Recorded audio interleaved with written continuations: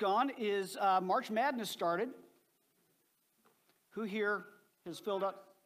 Yeah, go Ducks. Who here has filled out a bracket? Let's try that again. Who here has filled out a bracket? Wow, okay. We've got some work to do here. Um, I, uh, I have an app.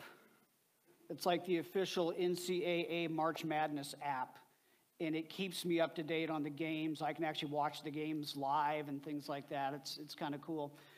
But one of the things that you could do is you can go in there and fill out a bracket with your predictions for who's going to win March Madness, which, if you don't know, is the National College Basketball Championship. And it starts with technically 68 teams, and then it'll whittle its way down to uh, a national champion. And um, thousands upon thousands of people from all over the world, except apparently in Longview, um, get on this app and fill out their brackets, their predictions for who's going to win every game all the way up to the national championship. And I got a message this morning that said there are actually two people of all the thousands of people around the world who filled out brackets, there are two people who still have perfect brackets. They have accurately predicted every game so far. And I am thinking to myself, who are these people? I want to avoid them. there is something wrong with them. Who in their right mind actually predicted Liberty University was going to win a basketball game? What's worse is who in there, uh, other than Slade, Slade graduated from Liberty University, so um, he's kind of compelled to pick Liberty. But even worse than that, UC Irvine, the Anteaters, won a basketball game.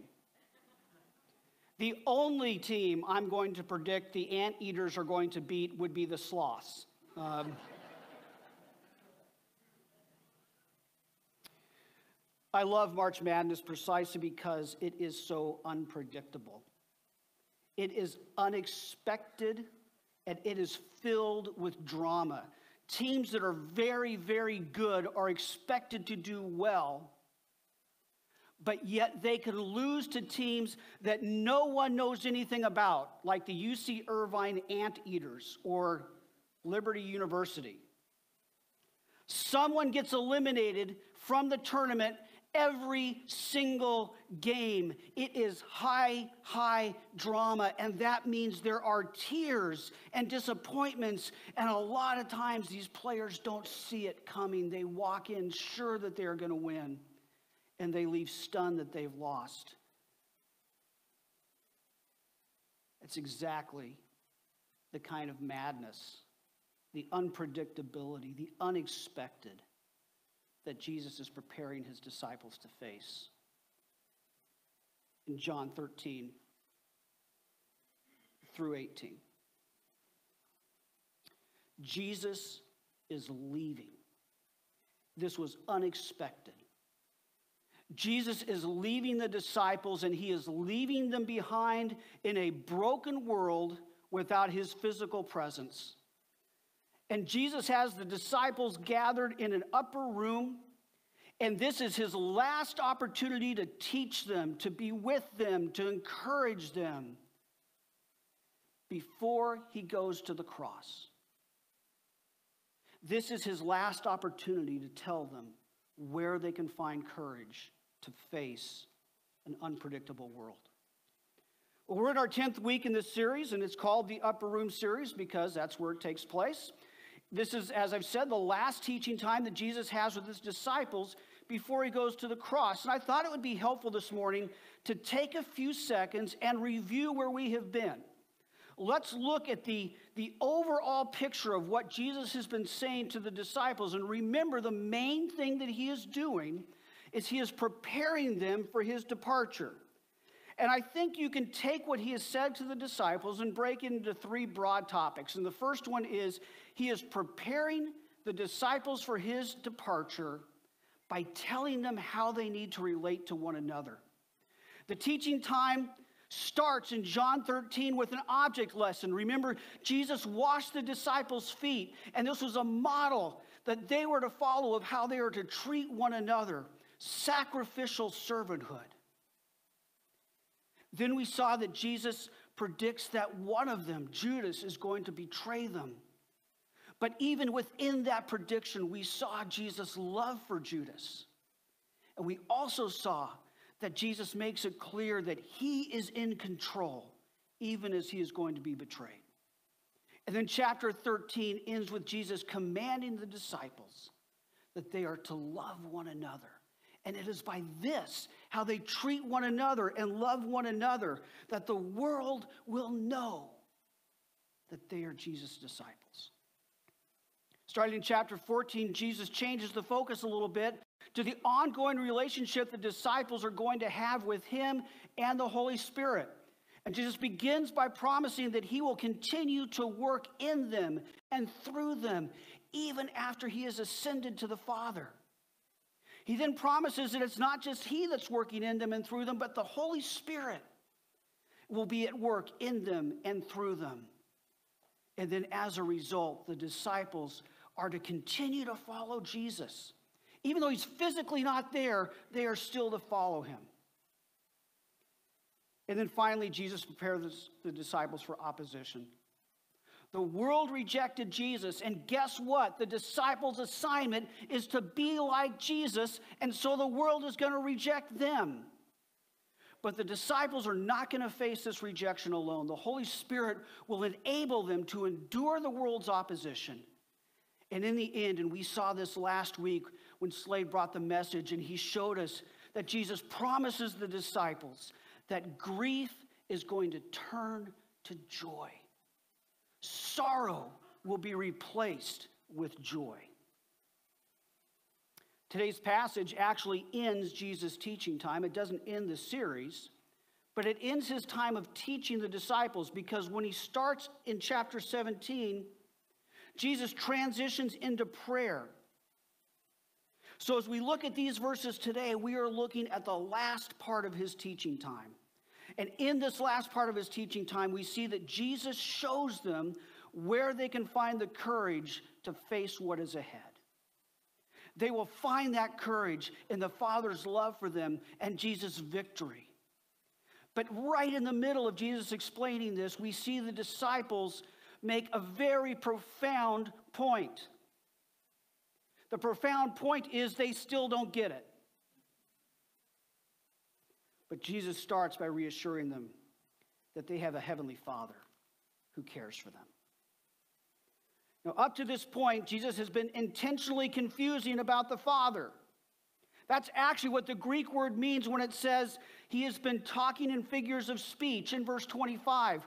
It's not just saying that he used illustrations, it's not just talking about parables, it's just actually saying that he was intentionally puzzling. But that's about to change. A whole new way of relating to the Father is about to kick off. Because of Jesus' death, burial, resurrection, and ascension back to the Father, everything is going to change about how the disciples will know God and know about God. We've seen in other passages that it's going to be through the Holy Spirit that Jesus will teach the disciples and they will learn clearly what the Father is like.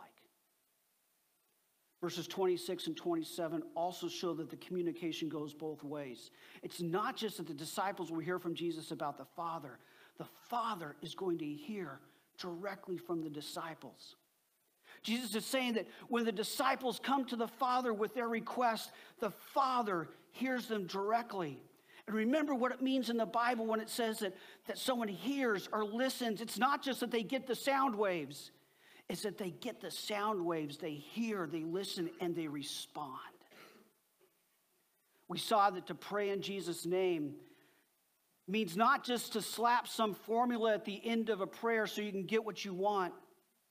It means to align with what Jesus wants. You are asking that your request would advance Jesus' reputation, that it would advance Jesus' purposes. Jesus reassures that the Father loves you, that the Father personally is attentive to you. And that is all the reason that he needs his love, his care for you, to listen carefully to what you ask for and respond with what is best. Verse 28 is an interesting verse. It's basically a one verse summary of the entire Gospel of John. In verse 28, what it's basically saying is that Jesus is the Son of God who came from the Father on a mission, and he is going to return to the Father when the mission is complete. When I read this verse, here's what confused me. Why would Jesus say this now? How in the world does this connect with what he just said in the previous verses? And then it dawned on me. What Jesus is doing is he is ask, answering an unasked question.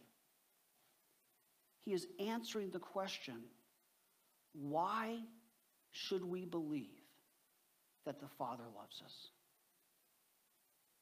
What can you point at that demonstrates that the Father loves us in the midst of living in a broken and distressing world? How can the disciples know that the Father loves them? And the answer is Jesus. How can they know that the Father loves them and will listen to them? He has proven it, and He proved it by sending Jesus. How do you know that the Father loves you? How do you know that in the midst of distress, confusion, struggle, that the Father listens to you and cares? You know that because of Jesus. You know that because he sent his son for you. And this gives us courage when we are facing a troubled world. And it gives us courage because we know for certain that the person who has our future in his hands has clearly proved his love for us.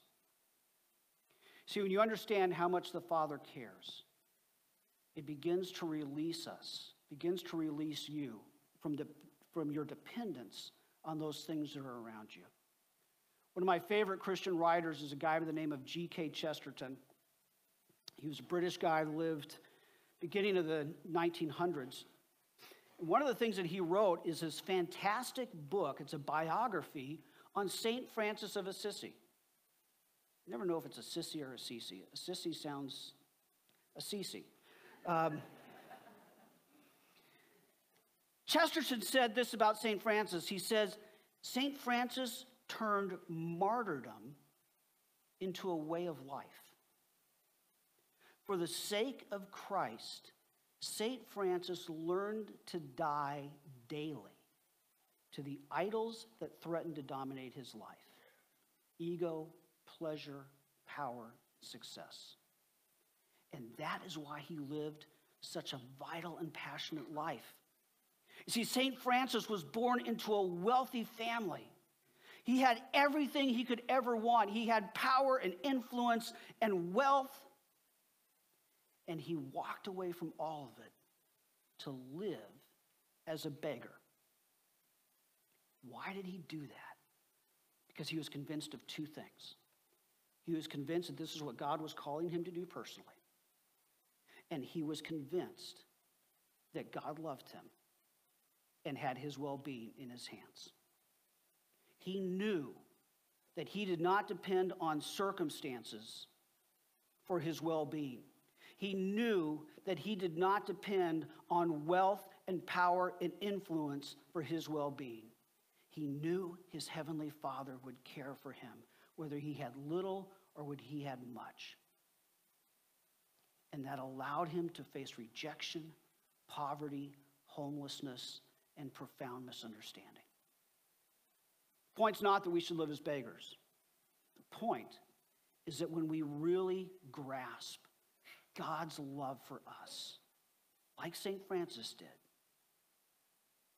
We trust that no matter what our circumstances are, we are under the Father's care.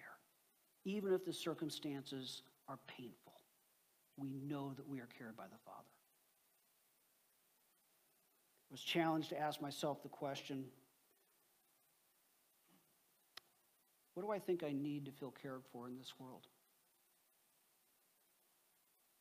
See, in a broken world, I'm going to be let down. And if my hopes, my purpose, my sense of value are all dependent on something in this world, on relationships or position or influence or financial status, I am going to feel uncared for a whole lot. If I trust that the Father loves me and hears me, then I can suffer the losses inflicted by a fallen, broken world and still know that I will be okay. Jesus reassures the, the disciples that the Father loves them and he hears them. And the Father has proved it in a way that they could point to and know, and so can we. He sent his Son.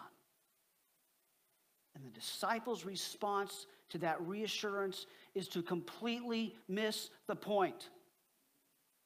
We see this in their misplaced confidence. You ever had a conversation with someone and what's going on in your head is, um, did you hear what I just said? You have no idea how many times that happens to me around the subject of I'm allergic to cheese.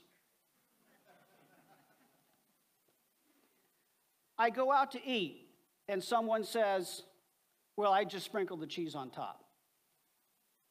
Did you hear what I just said? I'm allergic to cheese. Fortunately, I'm not deathly allergic to cheese. I'm violently sick allergic to cheese. I say fortunately because the worst situation I ever faced was when I was in college. A guy that I worked with at the college library invited me over to his house to have dinner.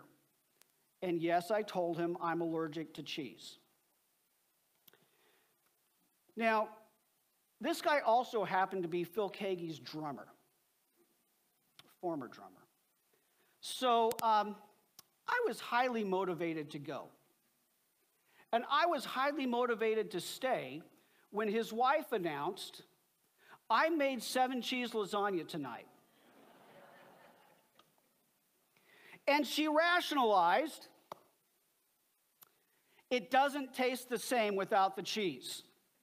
No, seven cheese lasagna is not going to taste the same without the cheese.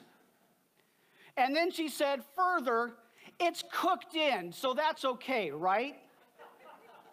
what part of I'm allergic to cheese did she miss? That was my first thought. My second thought was a drummer for a famous Christian musician is trying to kill me, and that's pretty cool. Um, so I ate the lasagna and excused myself to the bathroom.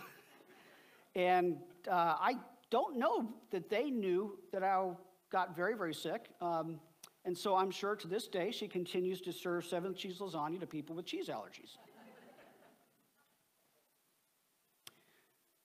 Jesus is having a did you hear what I just said moment with the disciples. He just said to them that the hour is coming when he will speak plainly. That's future tense. The time has not yet come, but the disciples think, okay, now they've got Jesus figured out. And what they say about Jesus in verse 30 is actually, interestingly, pretty good when you know the context behind it. You see, it was a common belief in that time that you could tell if someone had a special connection from God or assignment from God if this person knew things they wouldn't otherwise know. Now, I'm not sure how mothers fit into that because they always seem to know things that they shouldn't know, but apparently they also have a special connection with God. And this was especially true if someone could answer your question without you asking the question. that was considered a sign that you had a unique, special connection with God. And so, what they're affirming is that Jesus has this unique, special relationship, mission from, assignment from God.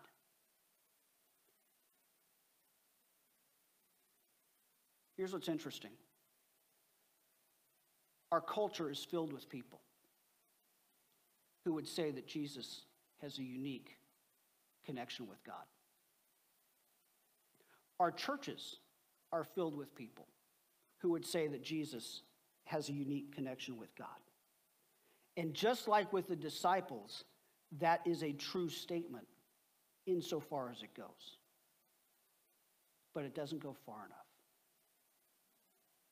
It's not enough to say that Jesus has great insights about God. It's not enough to say that Jesus was a great example and then stop there.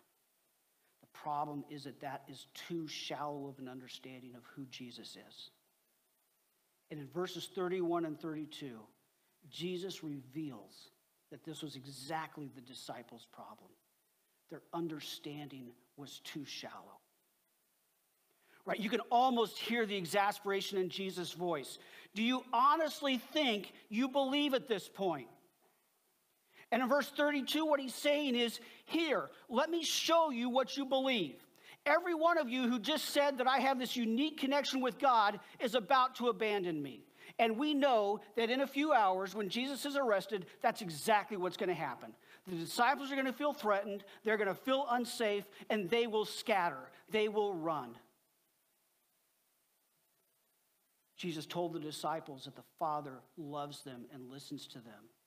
Jesus was sent by God on a mission and is going to return when that mission is finished. And the disciples' response to Jesus is essentially to say, We have got you figured out now. We know what box to put you in.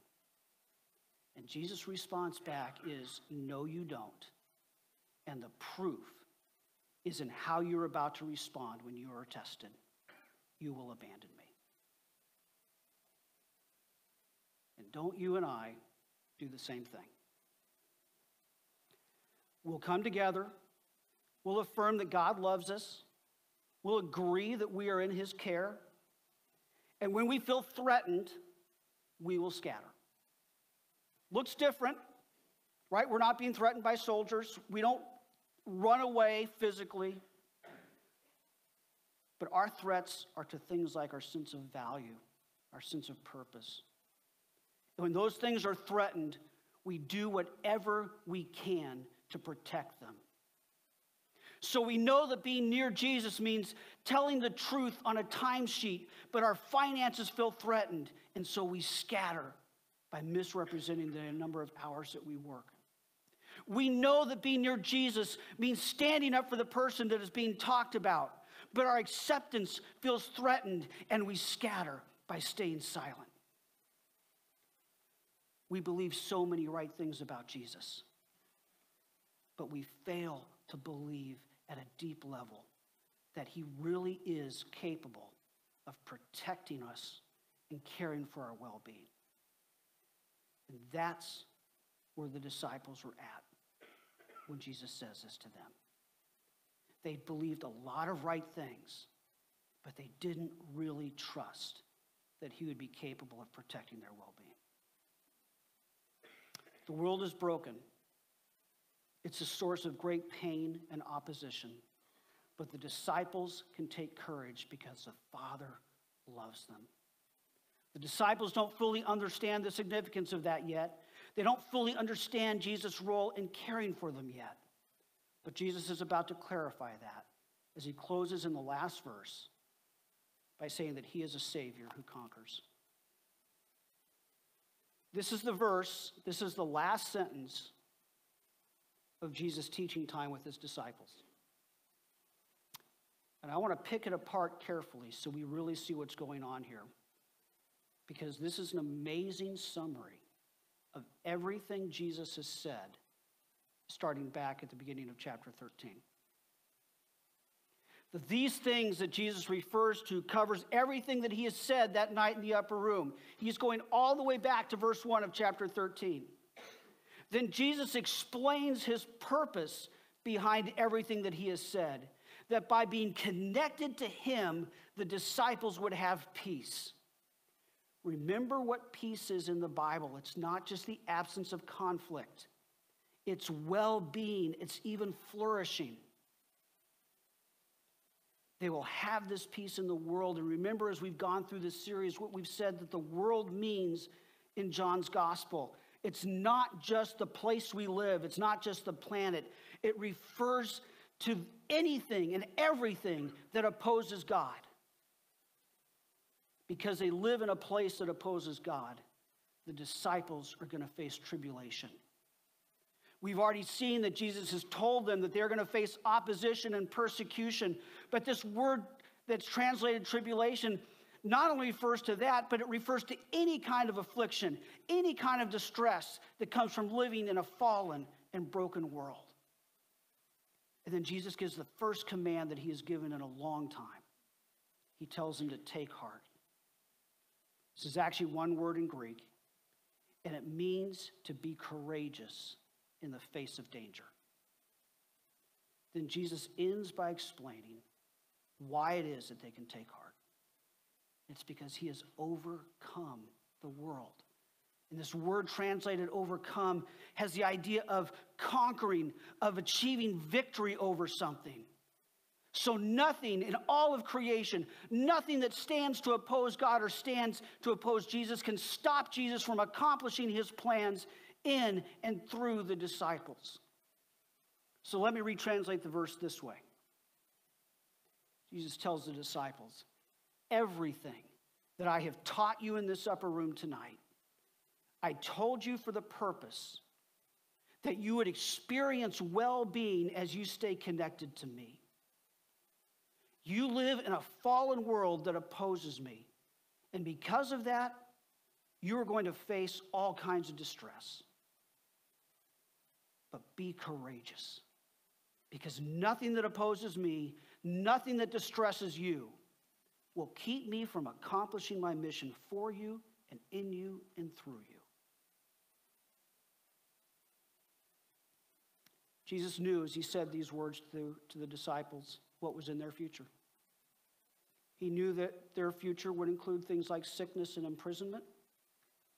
He knew that their future would include things like being forced to leave their homes. He knew that their future would include things like being abandoned by family. He knew that for some of these disciples, it would include being put to death.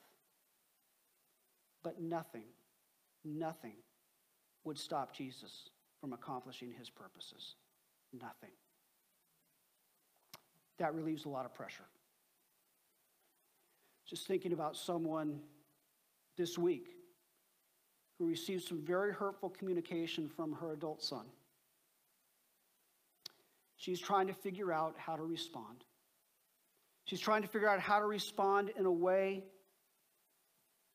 that acknowledges her pain, that deals with, deals with her pain, and yet loves her son well. This is a bad situation that she has found herself in as a mom. And yet, Jesus promises that he will accomplish his purposes even in this situation. Thinking about a friend of mine who I've known for years and years back in Oregon. He struggles with mental illness, addiction. He's been in and out of prison. But he has come to know the Lord. And he wants to follow the Lord that he is growing in Christ. But guess what? He still struggles with mental illness, addiction, and some problematic behaviors that get him in trouble. But you know what? Jesus has a message for him. Nothing in this broken world, including his own brokenness, is going to prevent Jesus from accomplishing his purposes in my friend's life. Every person in this room faces tribulation.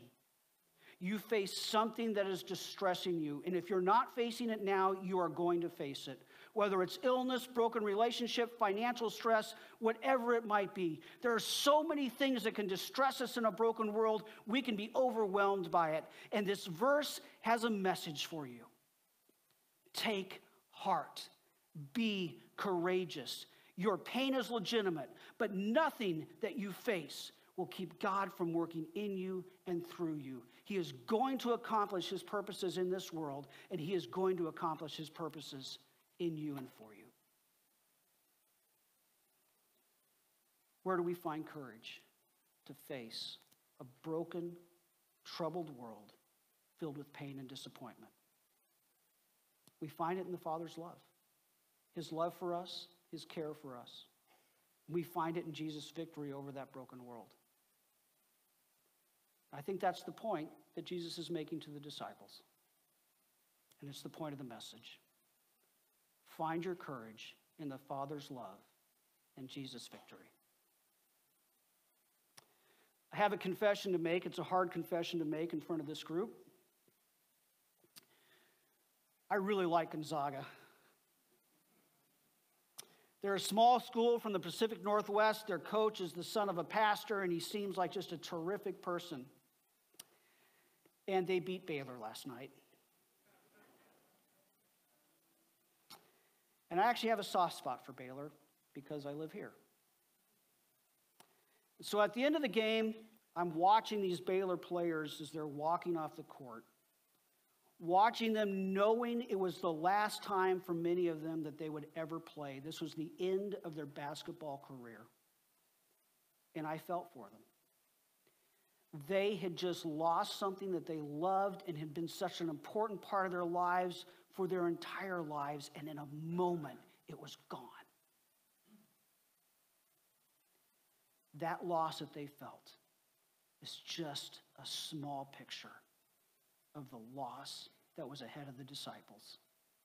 And it's a small picture of the losses that many of us are going to face in the year ahead. But Jesus tells us take courage. The Father loves you. Nothing will keep Jesus from fulfilling his promise in your life. And his promises and his purposes are better than your greatest dream. So, how do we respond to something like this? Well, again, there are four ways. And just as a reminder, on this bulletin, there is a place that you can indicate to us how you would like to respond, whether it's one of those four or something else, or it's a way you can also indicate prayer requests to us. And if you slip it in one of the boxes in the foyer, it's either to my right or left as you go out, the staff will get those and we will pray for you as you, uh, as you seek to apply God's word. Four suggestions, again, as always, the Christian life is not meant to be lived alone, so I would encourage you to discuss these questions with someone, the discussion questions that are on your handout. It's just a few verses, but these, these few verses have a lot to say about our Heavenly Father. And would encourage you to go back and review this passage and see what it has to say about Him. Spend some daily time in prayer. Tell the Father how you feel troubled and tell Him with the confidence that He hears you and that He cares. And then, last, if there's an area of your life where you are facing trouble, there is almost certainly a courageous next step that you need to take. For one mother this week, it was picking up the phone and calling me and saying, I'm really struggling with what I just heard from my son. Would you pray for me? For you, it might be, I am carrying this burden and I feel all alone. I need someone to pray with me and for me. We've got a whole bunch of people at the end of the service who are going to be standing down here to do just that. Whatever it is, courageously take the next step in whatever trouble you face. So I'm going to invite the prayer team to come forward. And as I just said, these folks are going to be here to stand with you and pray with you no matter what trouble you're facing. But we certainly want to introduce you to the Jesus who has conquered the world if you do not yet know him. And as that prayer team comes forward, I want to invite all of us to stand and let's go courageously before the Father who hears us and loves us. Heavenly Father, we do come before you, and we come before you confidently. We come before you knowing that you love us and you hear us, and we know it because we can point to tangible proof. You have sent your Son. Even when we were your enemies, even when there was nothing lovable about us, you sent your Son to die for us that our sins would be forgiven, to be raised again that we would have new life and be made new creatures, and that we would have relationship with you now and for all eternity. Lord, we can't even really fathom that love, but we thank you that you give it. Father, we have people here that are facing so many significant trials and tribulations. And I ask, Lord, that you would sink a little deeper into their hearts today the truth that you love them and you hear them, and that your Son has conquered everything that opposes them and everything that opposes this world, and his purposes will be fulfilled in their lives.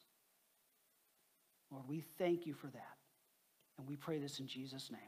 Amen.